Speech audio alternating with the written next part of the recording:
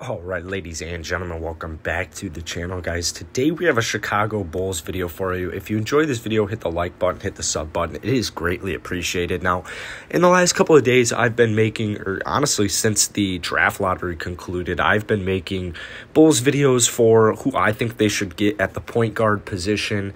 I'm going to go ahead and go through four point guard options if AK does not sign Lonzo Ball got this from an article on Fansided, and I just kind of want to give my side of if I agree or not. So, the Chicago Bulls this last week were rumored to sign or to be interested in signing 23 year old Lonzo Ball.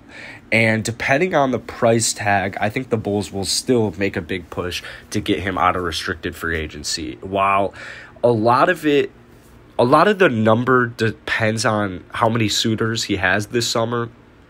Uh, if it's just a handful of teams that are interested, uh, then the Bulls could definitely, definitely get him. So I would say he's going to get probably $20 million.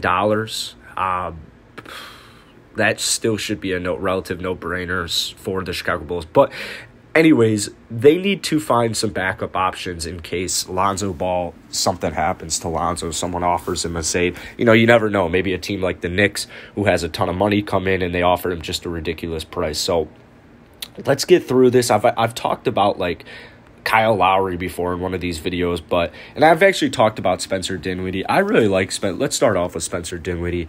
I like Dinwiddie on the Chicago Bulls. It's would be nice because he is kind of an up and coming point guard in the NBA. But last season, uh, ACL injury knocked him out for pretty much all except for like four or five games at the start of the season. And so Dinwiddie is probably going to cost more than $20 million as well, which is why I'm not as high on Spencer Dinwiddie. However, I don't think he's going to be the I don't think he's going to garner the same amount of attention as Alonzo Ball will just because of post injury. It's really rare that a player picks up right where they left off. If Dinwiddie can come back at 80 or even 90% of what he was with the Nets when he scored 18 points per game or 19, 19 points per game, six and a half assists per game, then the Bulls could definitely use him. He's still a major upgrade at the point guard position. Keep in mind, we need a guy who can come in and play make. It doesn't necessarily have to be a third star, like, you know, superstar scorer, you know, DeMar DeRozan type player. It can be a Spencer Dinwiddie who can come out here and get you 16 and 6 every single night. That would still be extremely useful. So I still think Dinwiddie is a good option for the Bulls. Uh, I, I would say they would go for Dinwiddie if Lonzo Ball's price tag was just too high. And if Dinwiddie doesn't have too many suitors, then his price could drop as well. So, next up, we'll talk about Ben Simmons.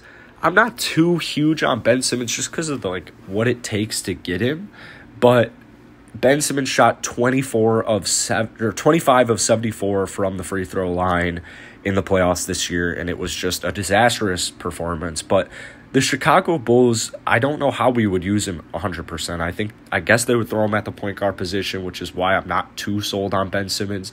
Personally, I don't want a point guard that can't shoot a three. Uh, that's just not who I am.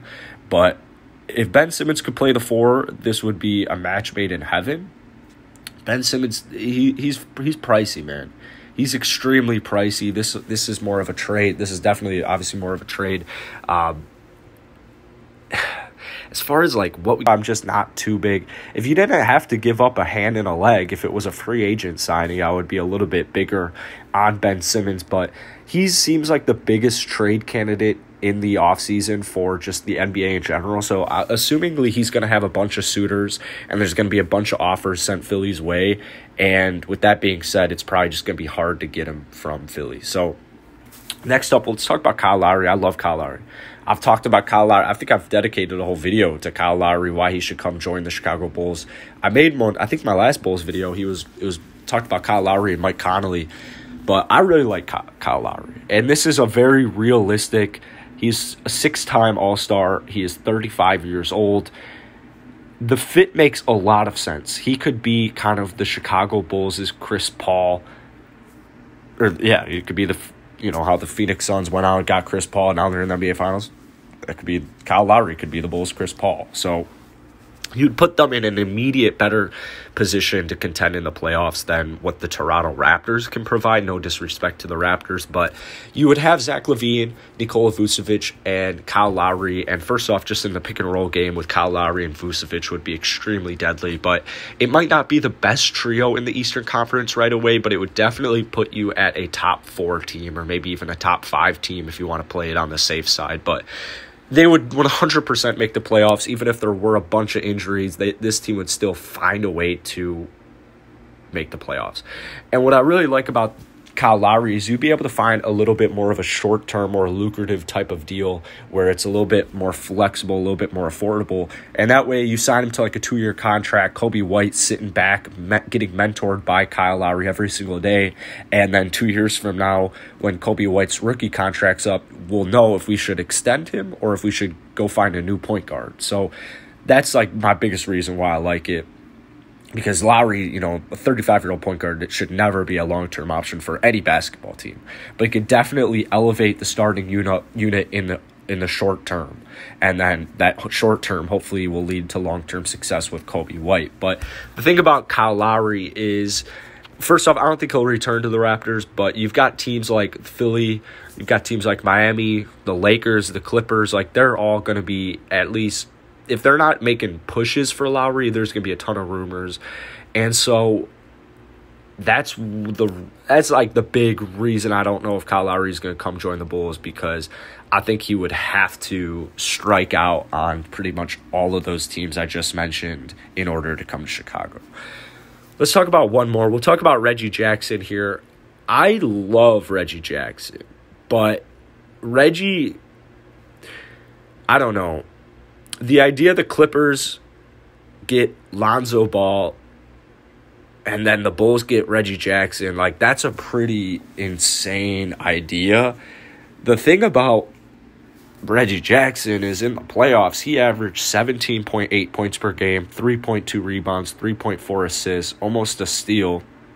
And he shot 48% from the field, 40.8% from deep, and 87.8% from the free throw line. I mean, this is the guy who dropped 42 points in a very vital game for OKC back in 24 back in 2012 when Russell Westbrook and KD were on the team and people forget about that all the time like he almost saved that playoff run.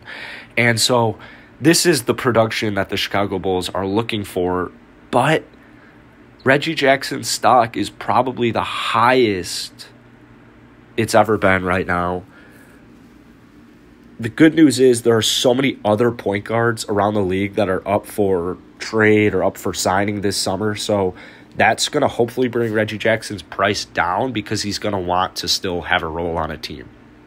And this really might be the absolute last last re like this last possibility. This really might be the last last chance.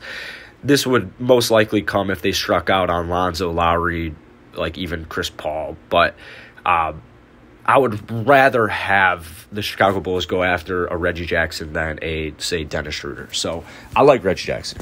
Anyways, guys, that's it for today. Let me know down in the comments below which of these four point guards you would rather see join the Chicago Bulls or just what point guard you would see join the Chicago Bulls. If you enjoyed it, hit the like button.